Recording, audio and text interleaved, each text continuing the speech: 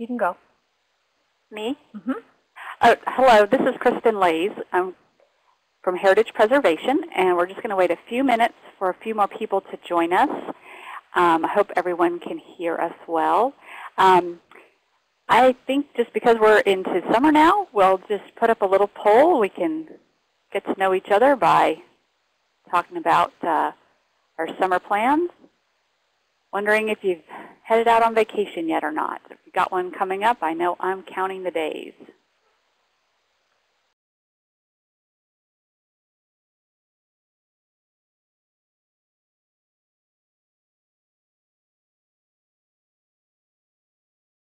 And I think everyone has found the chat box that's to um, the left of the screen. And uh, you can type in your questions um, while we are in the middle of our presentation. And um, we'll be having this live um, Q&A time today. And uh, feel free to just put in any comments or questions you have in that chat box. Well, I'm glad to see no one needs another vacation after the vacation. Sometimes that does happen. Um, but uh, hopefully those who question, even if they're going to get one this year, will something will come through. So thanks. Uh, let's. Uh, I'm going to go ahead and close this poll, but let's go ahead and see where everyone's coming in from today. It's just kind of nice to get. We see your cities and towns, but sometimes it's just nice to see a regional overview of where everyone's coming in from today.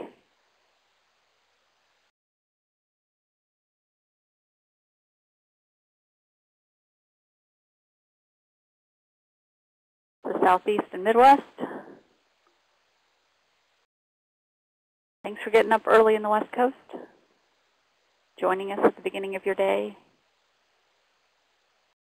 That's great. So it looks, looks like we have about 20 people logged in at this point.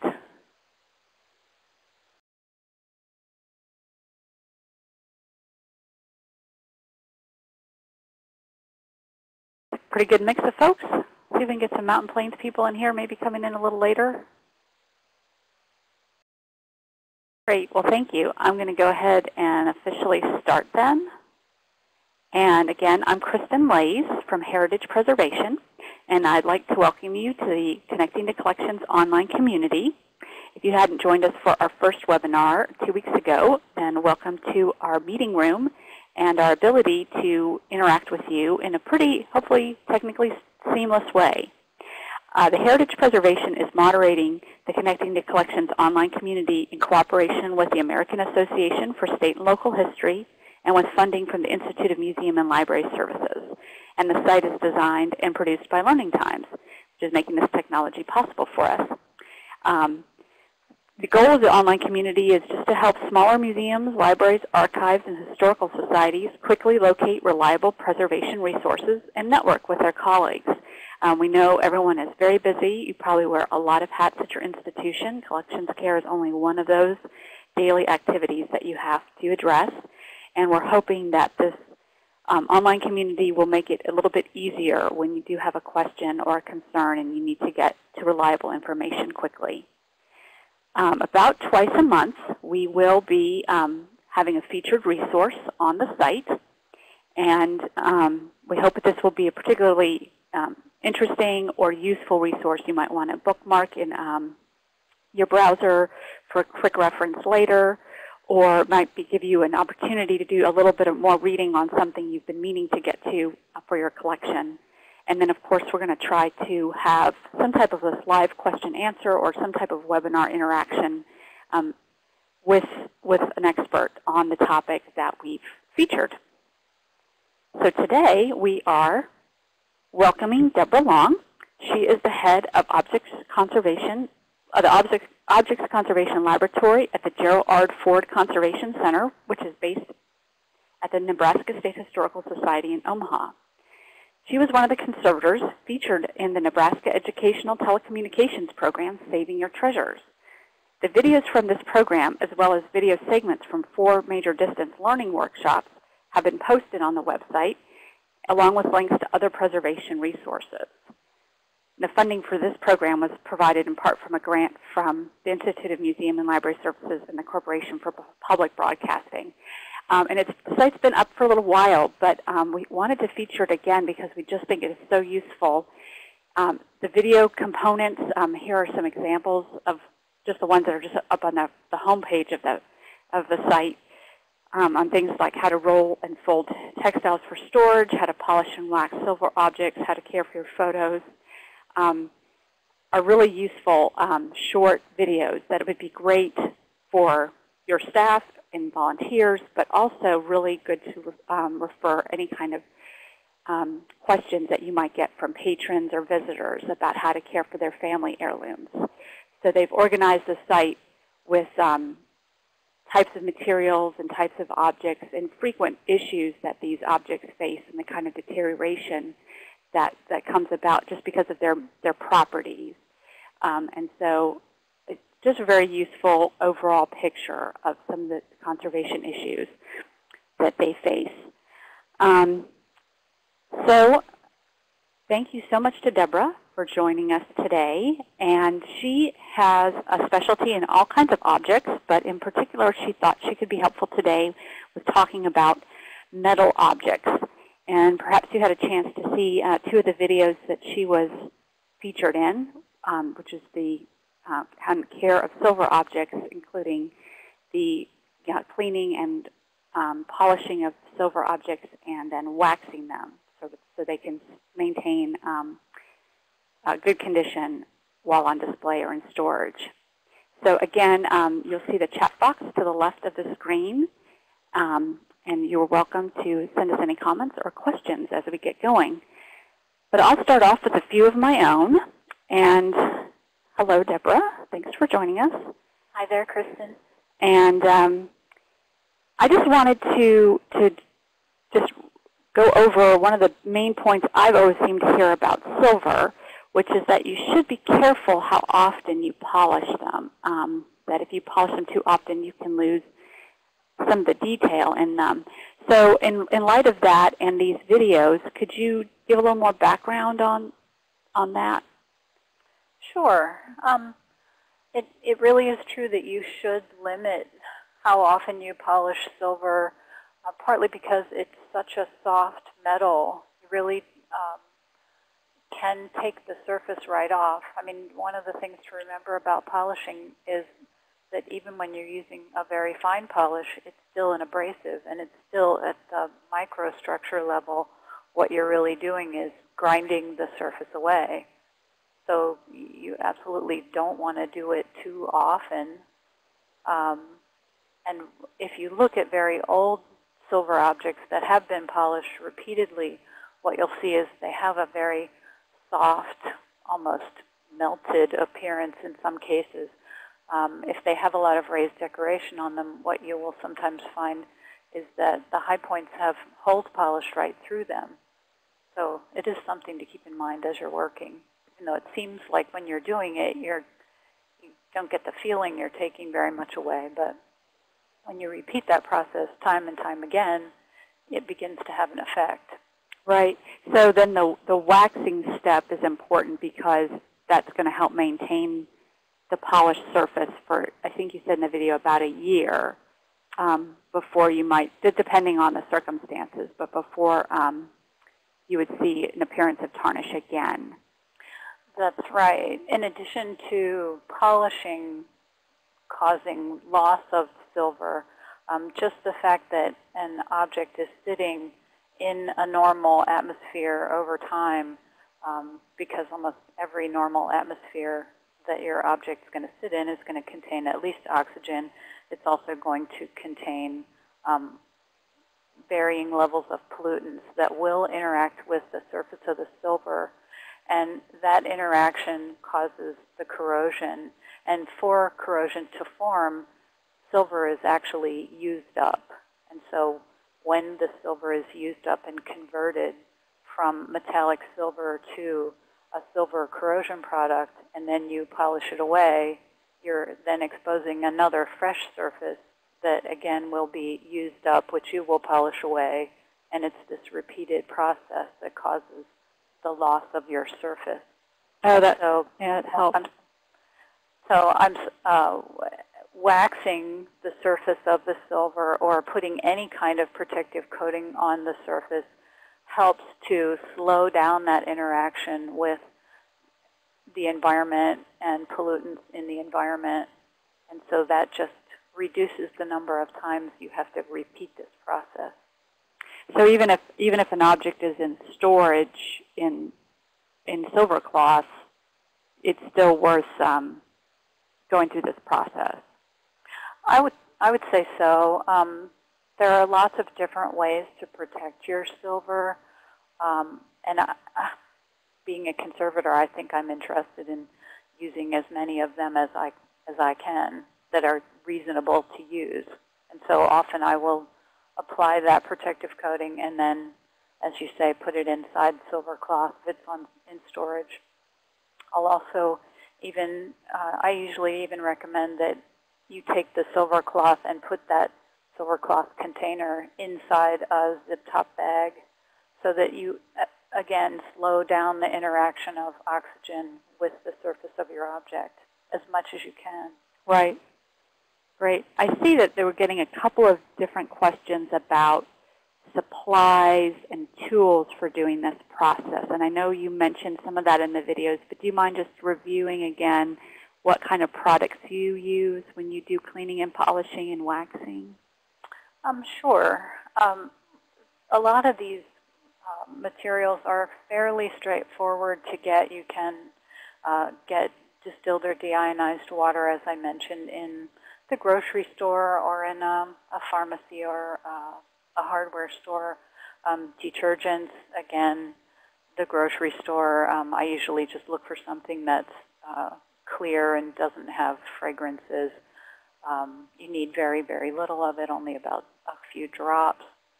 Um, and then the polish itself, I use cal uh, precipitated calcium carbonate, and that's uh, a little bit more difficult to get.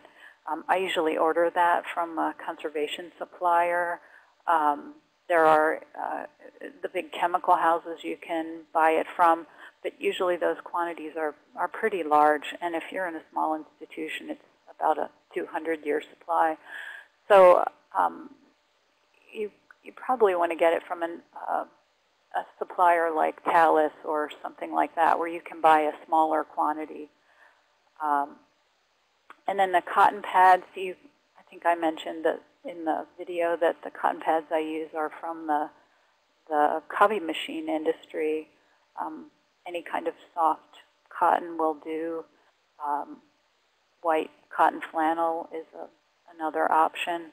I, I tend to like plain cotton to the extent that I can get away with it just because it, it's, it's very usable, it's very expen uh, inexpensive, and uh, it, it's available, pretty widely available. But this isn't just like the cotton ball you'd get at the pharmacy, which is a, isn't it, that's usually some, a synthetic material, right? right? So this would, would all of this basically be, you know, available through Gaylord or um, Light Impressions or any of the conservation supply catalogs?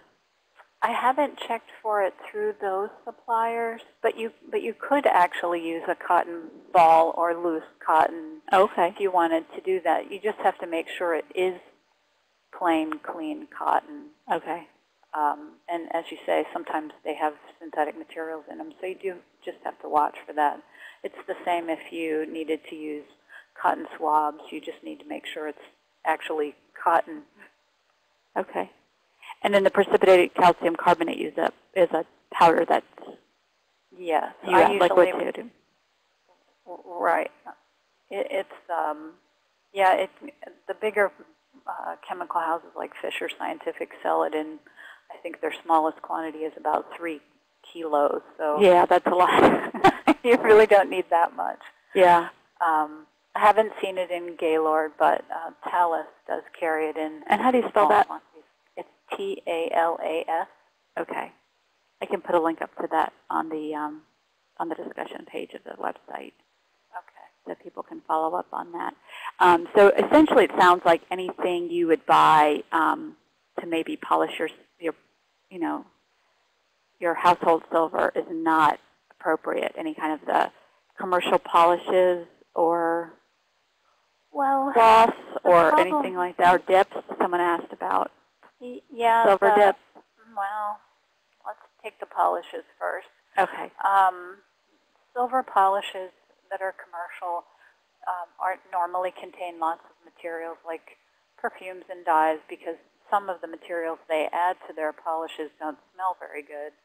Um, and I just really like to avoid all of those materials. Um, things that are used in a home environment um, that might be fine in a home environment may not be suitable for a museum environment. Uh, and I think when you're in a smaller institution, there is a very strong urge to just get something easily and quickly at the local hardware store. Um, but some of these things that are work fine in a home environment, um, like corrosion inhibitors that are, are fine, like I said, for sort of silver in use, um, can cause some secondary problems over time on silver that's in a museum setting. So I really like to avoid all of those things. Okay. And um, what about those the dips? Someone The dips, um, well, some people love them.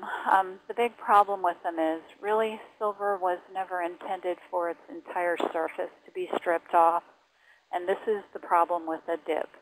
Um, it will take off all of the surface, all of the discoloration, whether it was intended to be there or not. And often if you look at silver, what you'll see is, uh, you know, this difference in surface conformation, um, decorative elements, engraving, things like that. Um, they're meant to be dark in the depression. And when you use a dip solution, um, it's indiscriminate. It will remove everything from the surface. And so you end up with an object that looks odd. Um, it also is quite uh, an aggressive material, and so I, I like to use the gentlest thing I can.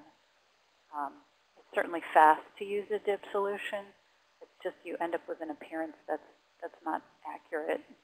And Right. when you're in a historic setting, accuracy is what you're trying to, to maintain. I think that's one of the nice things about the video is not only do you see how you how you handle the object, but you can also see when it's completed, its Mhm. appearance, and that that right. It's not. There are some some darker areas in the in the detail. And I believe that the, the image that we have up on our homepage right now also is a pretty good example of that. It is a perfect example of that. Great. And you can just imagine how that would look if there were no dark surfaces at all. It Right. really, you start to lose the detail. And yeah, that makes me also feel You are now muted. home. Less is better. yeah. So someone asked about Hagerty as a polish. Is, Uh-huh. that name familiar to you? Yes, it is. It is. I see they mentioned that it looks like mud. Uh-huh. Um, the reason it looks like that is it has iron oxide in it. And so a lot of the commercial polishes you'll see, they, they look pink or brownish. And this is why, because they have iron oxide in them. And the iron oxide is a very traditional polishing agent for silver. It's sometimes called rouge um, or other things like that. Um, and this is this is perfectly fine as a polishing material. It is harder than the silver itself, though, so it will take more material away. This is another reason I like the calcium carbonate. It's, it's quite a bit softer than the iron oxide. Um, calcium carbonate's about the hardness of your fingernail. It's hard enough to remove the tarnish, but it's not hard enough to really aggressively scratch away a lot of the silver surface where the iron oxide is, is harder and it, and it is more aggressive. It removes more material. And a lot of times with a commercial polish, they'll, they'll put that material in there because it makes your polishing go faster. So, so it makes their product more popular. Yeah, yeah, exactly. Great. Well, um, someone asked also what, what about the bags? Um, so I guess that the silver cloth is something you can purchase, I think, pretty readily through the um, conservation suppliers, Right? Or you can and you can make your and you can make your own, or Yes. just use it to wrap if you have an odd-shaped object, you can just get a, a length of it to wrap in. You you can you can um, it's um, you can buy it on the web too, um, just in bolts or you know by the square yard or something like that. Um, it's quite easy to sew. It's basically a soft cotton flannel that's been treated with uh, actually finely divided metal particles that are entrained in the fibers. And what happens with these silver cloth bags is over time, your object is on the inside, the pollutants are outside in the air, and as the air filters through that cotton flannel cloth, it interacts with those finely divided particles, and so the pollutants are kind of used up by the time they get inside the bag where your object is. And that's the way it works. So it has a finite lifespan, um, and once those particles are all used up, then the bag doesn't work anymore as Okay. a protective environment for your object. Um, and so for that reason, you never want to wash silver cloth. Oh, okay. That's good to know. those, yeah, those little particles will be washed out. Right. Um, and how, do you have any kind of range of time of how, how long a, a silver cloth container might last? it's a pretty long time. Okay. I think that I think the average time is about 15 to 20 years. Oh, okay. That's So, great. yeah, it's, it, so it, it, people often ask, is it worth it? Because it's kind of expensive. But I, I Right. would say yes. Yeah. Well, and then so you said so put, wrapping the object in the silver cloth, but then also putting it into a, a zip bag, a plastic bag of some kind. Will that Right. also extend the life of the silver cloth? Yes, it will, because what's happening when you're putting it inside a zip top bag, and, and you do want to stick with the food grade polyethylene bags Okay. or something like that. Um, for the same reason, you don't want to introduce another pollutant or possible pollutant. So if you put your silver cloth and your object inside the zip top bag, it just slows down the transmission rate of of oxygen from the air and the pollutants that are in the air and everything is just slowed down, and so there's a slower rate of interaction with the silver cloth and a slower rate of interaction with your artifact, and therefore everything lasts a little bit longer. Right. So, um, so food grade. That's a good point. And then I've also understood that if you if it smells like plastic, strongly of plastic, then it's not safe for a museum object. Well, we do really try to avoid things like polyvinyl chloride, and if you you might remember this from when you were a kid, that sort of new baby doll smell Right. that kind of vinyl smell, you definitely want to avoid that, um, anything polyvinyl chloride. Um, and you want to stick with clean food-grade polyethylene or clean polypropylene. Those are, those are two plastics that you, you can use safely. Great. And then Mylar, which is essentially a polyester. Great. Um, one more question on the polishing. What about the silver polishing cloth? Someone someone mentioned um, a brand called Burke's. Mm-hmm. mm -hmm. A lot Um, of the polishing cloth um, is is essentially a, a cotton flannel that, just like the silver cloth, it has metal particles entrained in it. Um, sometimes you'll look at these polishing cloths; they'll be brown or or or something like that. That may be because they also may have iron oxide particles actually entrained in the fibers. And so just the fact that there's an abrasive mixed with the fibers in the cloth means that when you rub it over the surface of your silver, since the iron oxide is harder than the silver, it will essentially rub some of the silver away. When they're not orange or brown or something like that, it may be that there's another abrasive in there like aluminum oxide, cerium oxide. There are different um, abrasives on the market, but a lot of those polishing cloths contain this kind of finely divided abrasive. And so just the rubbing action of rubbing that abrasive surface across your silver will rub some of the surface off of it, Okay. which is how they work. Right. So again, a little more aggressive than you should probably be for a museum object. They can be. They Yeah. can be. Okay. Yeah. One of the ways I um, sometimes suggest if people have something they're not really sure of, and they and they don't know if they can use it, especially for a home environment, if it, they're talking with their patrons, can say if they rub it across a little piece of plexiglass, if it scratches the plexiglass, it, it's possible that it might scratch your object. Okay, that's a good test. I think that's a really good test.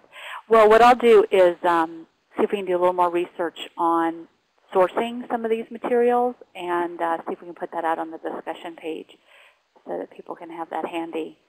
Um, I just wanted to, couple, we had, looked like we had a couple questions of storage for silver. So, and this sort of segues into a question I also had. You know, sometimes, and especially in a historic site or house environment, dis- you really want to display the silver. Um, and it's possible that there could be silver in stored in cabinets or furniture that are in a house or even out as a, as a place setting. So I guess that's two questions. One, um, are there, so obviously if it's on display in a storage cabinet, you, would, you wouldn't want it wrapped in silver cloth. Right. So do you have any tips about that? And then secondly, you know, what if you wanted to display silver candlesticks with candles in it or a fruit bowl with um, something in it? You know, do you have any tips for how to protect the silver in those cases? I do. Um, depending on what the cabinetry is like, there are several things you can do for objects displayed behind glass. Um, and of course, this depends on the historic furniture they're using. Uh, sometimes you can put down um, on the shelf itself that the silver is sitting on, you could put a piece of microchamber four ply um, or something like that, and that will adsorb pollutants from inside of the cabinet. Uh, 3M makes some activated carbon strips that help, again, adsorb pollutants inside the cabinet.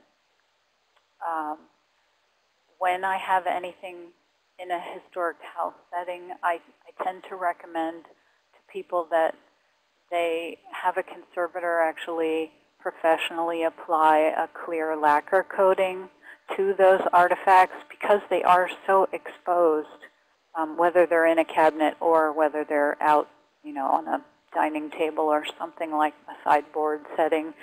Um, I really do recommend that they have a conservator do this kind of coating because otherwise what happens is it, as long as it's on view, people are breathing, cars are driving, you know, pollutants are there in the environment, and so the objects are exposed to these pollutants because they need to keep them looking nice. They polish them a lot, and so applying a, having a professional protective coating applied in this kind of circumstance really helps maintain your objects for a lot longer period of time. So that, that's my normal recommendation for um, museum settings. Um, when you have objects that are out in that room setting, uh, you can also apply little strips of barriers. Like you could cut a tiny little strip of mylar and put it around the candle so that it's not in direct contact with the inside of the candle cup if you have uh, candles in a candlestick.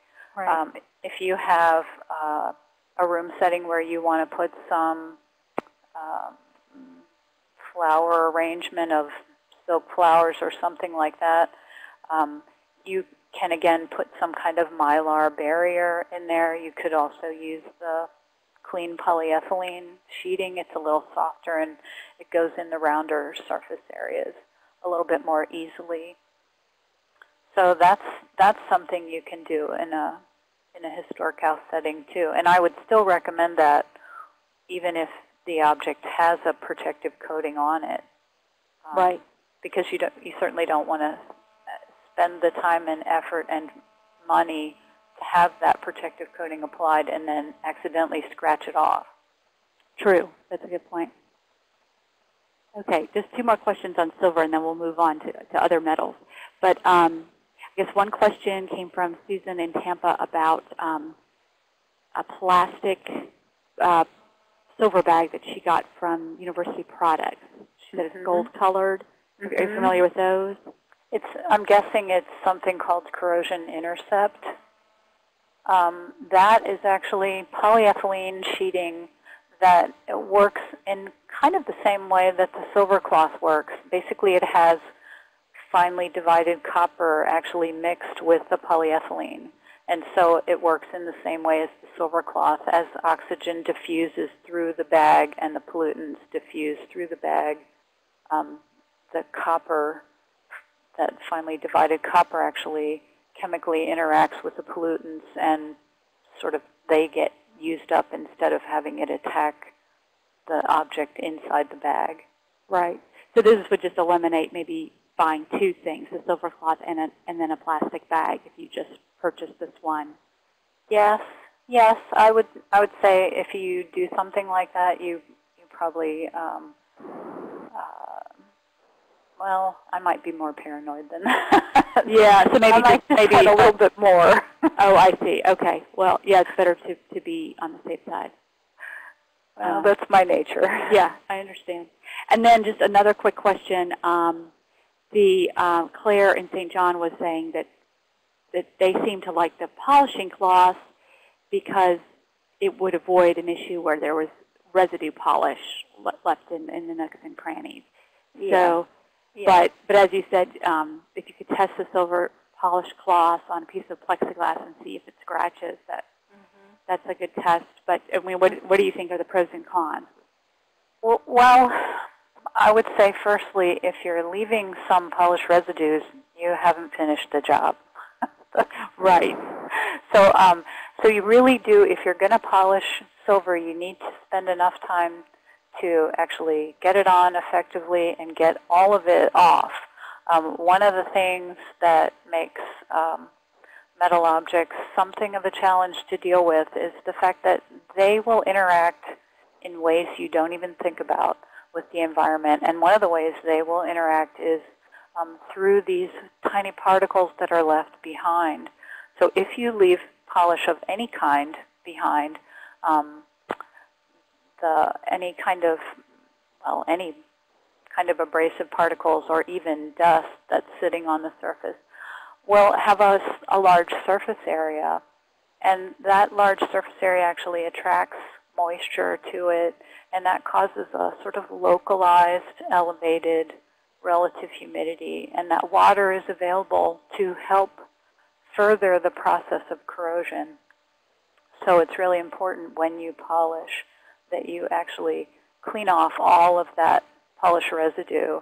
And so this might involve using some cotton swabs and a little bit of distilled or deionized water to get everything out of those little nooks and crannies that you might need some soft uh, sable paintbrushes or things like that to help kind of dust that residue out of there. But it is important to get, get as much out as possible. Right. Of course, that means more time and more effort, um, which is one of the reasons I tend to recommend that they have conservators take care of this for them because it gives them about 15 or 20 years of not having to deal with this stuff. Right. And so that would be giving it to a conservator to to be polished and then to be coated in something stronger than wax. That would be- Yes. Yeah. Um, and I'll just put up right now um, that the um, American Institute for Conservation of Historic and Artistic Works is a place where you can find a conservator and search by type of material and search by geography. Um, if anybody on the call hasn't used that resource, it's a very handy way to find a conservator and talk to a conservator. Um, just to, while we're just to move on to some other types of metal, I mean, we've talked about polishing and cleaning of silver. I mean, these the same basic principles for other types of metal like copper or brass, bronze, or pewter? Are there are there specific things to those types of metals that that you need to be really aware of? I think so. If you're in a historic house setting and you have uh, copper, brass, or bronze, or any of those copper alloys, um, what you have to be sure of when you're working with them is what was their original intended surface. A lot of these copper alloys are are meant to have a slightly patinated surface, and patina can be a natural darkening of the surface over time, or it could be an intentionally applied patina that actually is meant to make the surface look a little bit darker. So uh, understanding what it is that you're looking at and what it was supposed to look like is, is really important before you just decide you're going to polish it and make it look all shiny and new, because it may not ever have been intended to look that way. Right, right. So a lot of times uh, a, a more straightforward recommendation might be to simply clean the surface carefully and apply a wax coating just to protect it so that it can kind of maintain its existing appearance. Right, right. Um, and someone mentioned too, I mean, what if, what if you have um, composite objects? So we have some type of metal in the same object as wood or Mm -hmm, stone or minerals. Mm -hmm. Well, that's, that's a common issue. Uh, and at that place, you're starting to look at the interaction of multiple types of materials. And sometimes you have a situation called inherent vice, where the needs of one part of your artifact actually conflict with the needs of another part of your, of your object. Um, so, for example, if you have, um, I don't know, a steel knife that might have an ivory handle, for example, um, the ivory likes a little bit higher relative humidity environment, but the higher relative humidity will actually start to cause corrosion for the iron component. Um, in that case, you're a little bit limited, and a lot of composite artifacts have this problem which is why conservators have such a strong tendency to ask um, museums to try to be careful with their environment. Helps protect all the artifacts, and if you can kind of stabilize your relative humidity, at least any of this competition that's going on will be at the minimum rate of speed. Right. And then I've, I've also heard, um, especially in smaller institutions or, or institutions such as archives and libraries that have, you know, human comfort to think about people coming in the door, but they also might have a handful of museum-type objects that uh, you can get a lot of benefits from, from doing micro environments. So even making sure that that object is housed properly in a box. Right, Um, right. Or even in a case. in a case, right? So Mhm. even if you're you're working hard to stabilize your relative humidity, but it's not ideal yet, you can. Right. Are there any other tips on? I mean, we talked about silver cloth for silver items. You know, in the case of your ivory and steel knife, Mhm. how would you house that? Well, that's a place again where you're uh, you you want to make sure the object is very clean, as I mentioned before, because you don't want to have interaction from from dust or the pollutants that are in dust. Um, but you, if you can kind of keep your relative humidity in the about 40 to 45 percent range, um, really kind of trying to keep it in that middle range is is really the best thing you can do and trying to keep it stable so that it's not kind of flexing from high to low relative humidity is, is just about as important as keeping it at a good relative humidity.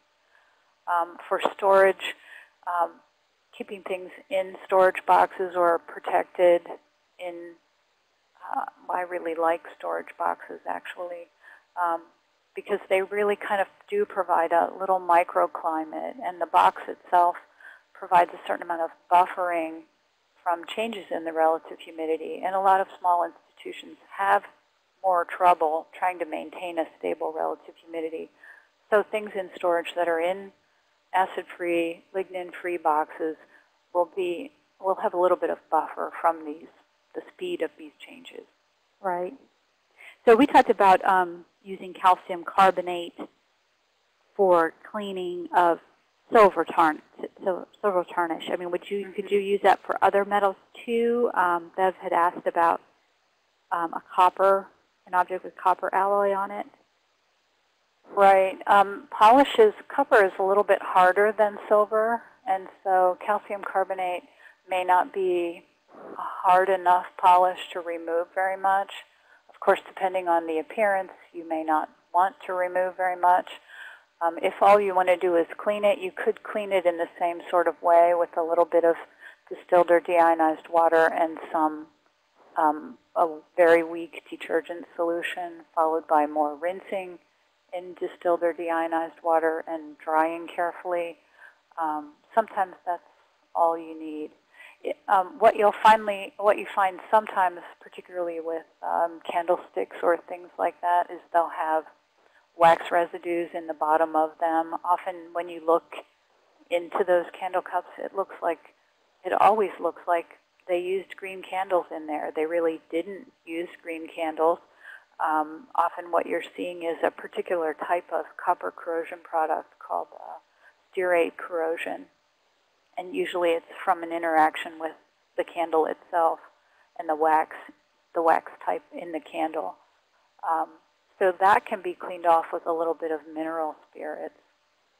Okay. And again, you know, then I would again go back and and wash it a little bit, rinse it, You'll make dry sure it thoroughly. Yeah.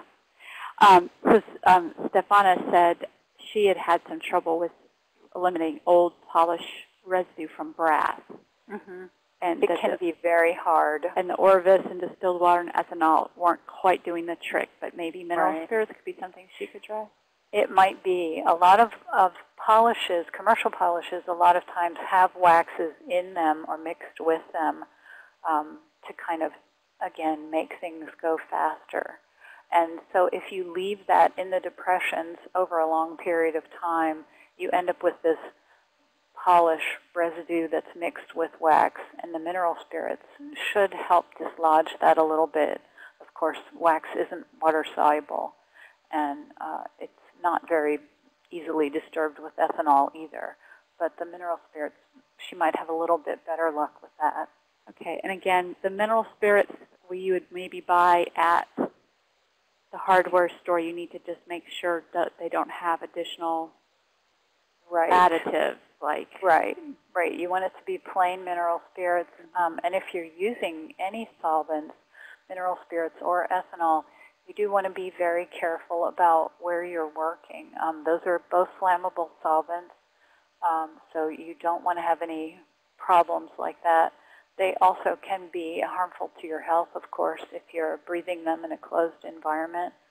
Um, so when you're doing things like that, do please take as many precautions as you can to protect your health and to protect your institution from a fire. Okay, great. So environment in keeping the air clean and the relative humidity stable is seems very important in terms of avoiding corrosion on metal. So Janine has tossed out an interesting question. Um, she is saying that they are considering a request to do a fog machine with dry ice for a Halloween event. Um, and maybe Janine can tell us a little bit more about how exposed her objects are at the at the place where this fog machine or dry ice might be used. Is, um, does that sound like a really bad idea? Well, Or- I, I, it depends on what the fog machine is is emitting. Um, dry ice is carbon dioxide, is frozen carbon dioxide, but some of those fog machines don't work with dry ice. Some of them work with other um, chemicals that create the fog. So I would definitely want to know exactly what was going out there eh, from the fog machine. Um, it, doesn't seem like something you would necessarily want to do in the museum. Um, I, that's a that's a temper. Carbon dioxide shouldn't hurt anything. It it is extremely cold though, so it could be a handling problem. Um, it's kind of dangerous to handle. You you have to have pretty sturdy gloves to handle it, and um, yeah, you need a professional. yeah, it's a good idea. Yeah, so I guess it just depends too on how exposed the, the artifacts are in this partic- in the particular space where this might be used, and if it could be Right. used uh, in the lobby or someplace where Yeah, there are no objects. Exactly, exactly. That would be the, the safer outside the front door as people are entering Right. to give give the appearance, the effect, but not any harm. Yes, exactly. So that that's a great question. Um, I was just wondering too, and thinking about metal objects, and maybe this is really obvious, um, and I should know the answer, but uh, I noticed in the video you were wearing um, a type of a latex glove or a plastic glove as opposed to a Mhm. white cotton Mhm. glove. And I know in handling metals, one of the big hazards is any kind of any kind of oils or or, or any um, dirt or anything that would come from human handling. So I, I just was curious. You know, I've always heard in museum work use white cotton gloves, but I noticed you were wearing a plastic glove. Do you want to explain Sure, Sure. what you prefer and what the advantages are of different things? absolutely. Um, you, ha- you do have a lot of choices when you're handling artifacts in a museum setting, um, but it is true you, you generally don't want to handle metal objects with your bare hands.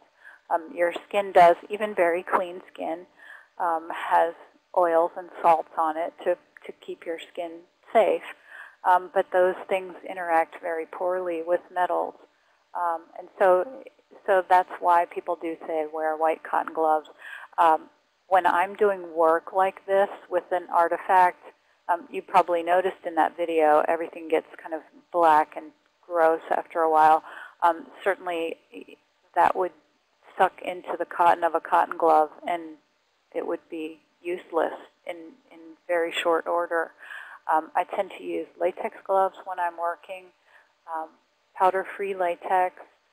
Uh, it, they have a very close fit and they will protect you from the abrasives and the, the dirty water and the, the soap. And if you use any other solvents, it will help protect you from those as well.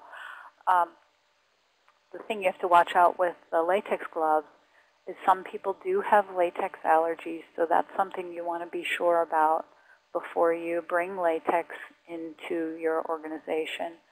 Um, and then your other option would be a nitrile glove. Um, nitrile gloves can be very useful. The only problem with them is once in a while they can be processed with a chlorine rinse, and chlorine is something you don't want against your silver or copper alloys um, because it will cause another type of corrosion.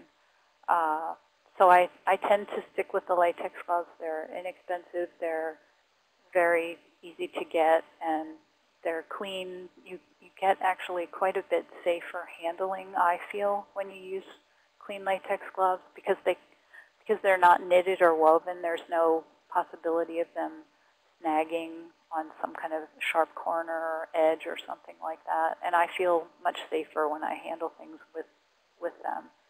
Um, the cotton gloves, unfortunately, people always have the best of intentions that they're going to keep them nice and clean, but I'm sure everybody in the museum world has seen the kind of cotton gloves that nobody actually wants to put their hands in, Right, much right, touch an object with.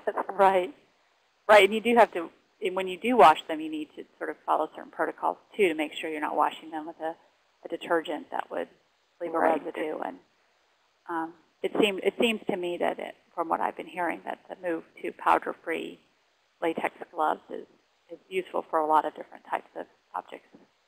It, it is. And then And there's nut, The nitrile is also very popular. yeah, and tho- those are the blue. They tend, Yeah. tend to be blue in color, right? Yeah, blue, purple, green. Uh huh.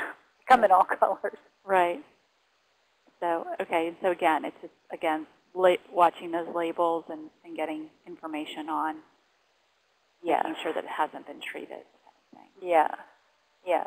Um, And if you're not sure, one of the things you you could do, it, it's not a uh, it's not a really official test, but you could, if you have a little piece of silver or copper, you could simply wrap that little piece of, like a, if you have any little test coupons or anything like that, you could wrap a little glove around one of those little coupons and stick it in a clean jar and just come back in a week and see what it looks like.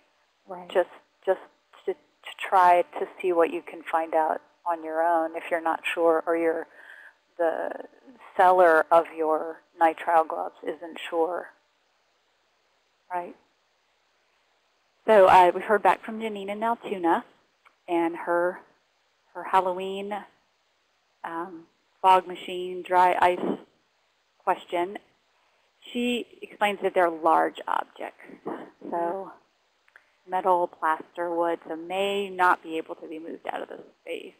hmm Well, if that's the case, then she probably wants to be more, I would hesitate to say use um, carbon dioxide in a basement because you just don't want, it, it's not, it doesn't seem like it would have a good escape route. Right. And I right. wouldn't want to use anything that created any kind of smoke. Usually those smoke things are proprietary and they often won't tell you what's in them because they're proprietary materials. Right. And I know they always seem to have an odor whenever I've seen them used. So that Yes. tells you already that it's got, Mm-hmm. it's got Something bad is chemicals in it. coming. Yeah. yeah. Sorry, Yeah. Janine, it's not looking good. Maybe some effect with lighting. There the you go. or an event space. Right, or an event space. Um, Stefana has asked us a question about corrosion and corrosion inhibitors. Mm-hmm. Um, I guess I guess maybe it's a very broad question on sort of how do you recognize corrosion, Mm-hmm. um, and then sort of so say you see it, and then now what do you do? And is it too late to use a corrosion inhibitor? Is a corrosion inhibitor something that that just museum staff are able to use, or is that something they might need to consult with a conservator on? Well, corrosion inhibitors come in a variety of forms. I mean, some of this preservation we've been talking about already is a form of inhibiting corrosion. Um, using the silver cloth is, is corrosion inhibiting just by exclusion, essentially. Um, some other corrosion inhibitors uh, come in a vapor phase, and there are products on the market that are, are actually called vapor phase corrosion inhibitors. Usually they're papers that evolve gases that help inhibit corrosion. Um, those are fairly specialized applications. Um, I wouldn't think that would be something you would normally find in a museum storage area. Um, if you have too much of that corrosion inhibitor, it can kind of attach to the surface and discolor the surface of metal objects. In some cases, it kind of depends on volume. Um, but if you're trying to figure out if you're having corrosion, uh, unfortunately, corrosion is always happening, whether you can see it or not, um, unless you have an environment that has no oxygen and no relative humidity. Okay, Uh, let's try. corrosion just happens. Um, the way you can kind of see it, any a tarnish is a type of corrosion. It's oxidation, um, simple oxidation. Uh, what people often will worry about is uh, kind of more the the sort of rapidly developing corrosion, like you see sometimes on archaeological objects uh-huh. um, and that will sometimes look powdery, or it will actually, you know, form and in a sort of fluffy mass and fall off of your object. Um, that's if you see something like that on a metal object, you probably want to get in touch with a conservator um, because something is probably going on with your artifact, and, rather than just guess or try to do something yourself, you may be better off just having a conservator have a look at it and try to figure out what's going on with it. Uh, because it could be um, an, any number of, of different causes. So kind of, it's hard to say in a blanket case what you should do. It, Right. it, there are so many possibilities, it, it's kind of difficult to answer that question. And so what about, what about this, as you mentioned, archaeological artifacts, or what about Mhm. pieces that come into the collection where it's got visible, active Active corrosion. Well, again, that's that's someplace where you're going to want a conservator to um, interact with your artifact because uh, there are some particular types of corrosion on copper alloys. In particular, there's uh, a very destructive corrosion product called is called bronze disease um, that is basically multiple unstable forms of corrosion. And you, in order to stop that, you have to have a conservator carry out uh, conservation treatment. Um, again, like I said, unless you can provide a less than 10% relative humidity environment or zero Right, oxygen environment. right. Um, and that's, uh, that's bronze disease is a corrosion product that, because both phases are unstable, it doesn't stop until the bronze is all gone. So, so you definitely want to have a conservator looking at that. Right. There are also salt-based corrosion problems that will sometimes happen with iron collections um, from uh, burial environments that have soluble salts. Um, they can cause these corrosion problems that are very disfiguring on iron-based materials, archaeological materials. And uh, what you'll see in those cases is kind of, again, a voluminous uh, sort of corrosion product that will sometimes, if your object is sitting on a shelf on a white background, for example, you'll, you'll see a kind of uh, iron oxide powder around the object. Um, again, that's a place where you want to have a conservator look at that and see what they can do to stabilize that. Okay, great. Um, and then I guess, you know, metals that are located outdoors, uh, Stefana has brought up a gate, which I'm, I'm going to guess is, is either outdoors or on, on the outside of a building, so that's got Mhm. exposed. And that's just can be very challenging.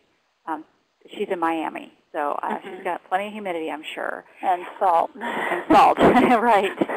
Um, so in that case, um, she could consult with a conservator, um, but also probably someone in historic preservation could give advice on um, right. on how Right. they need to treat that gate too. Yes, because Protect probably it. what they probably what they want to do is not just look at the gate. They're probably going to want to look at all the exterior metal. They'll probably also want to look at the interior metal, um, particularly depending on what kind of environment there is. Um, and in a case like that, where you're in an aggressive environment like Miami, you're going to want to try to work rather than looking at a single artifact. You're going to want to try to develop a long-range preservation plan for the whole institution. It's going to be a lot more cost-effective to do that than it is to try to piecemeal treat one object after another. You really need to look at that from a holistic perspective.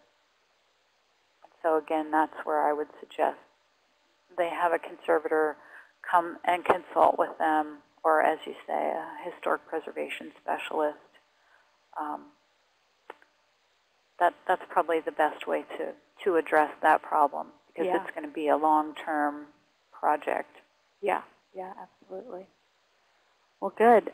We're just about at time, so if anyone has a last question they want to put in the chat box, um, please do it now. We will, um, we've recorded this webinar, and we will be posting it on the web. You are no longer muted. We'll file it under Care of Metals in the Topics menu. And um, I will also be um, doing a little more research on some of the materials we talked about. Um, the calcium, a source for calcium carbonate that you know maybe you could buy in a smaller quantity, and some of the other other materials. And I will put uh, put that up in the discussion area.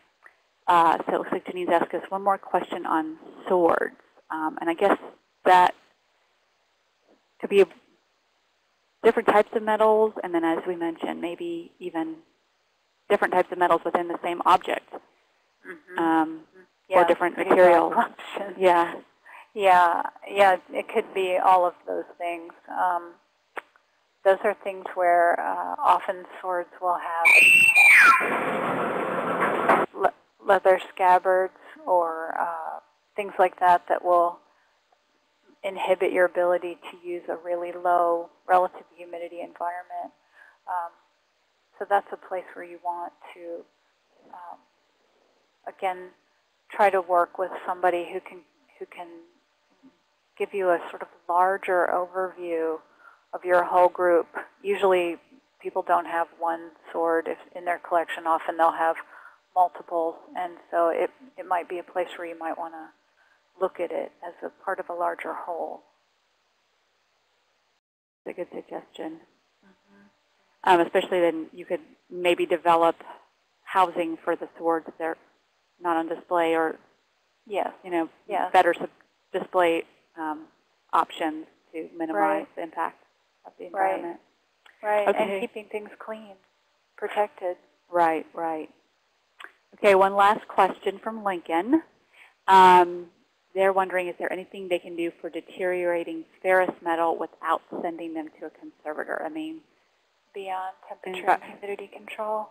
yeah, Keeping them as clean as possible, um, but relative humidity and temperature control are really major components of long-term care of ferrous metals.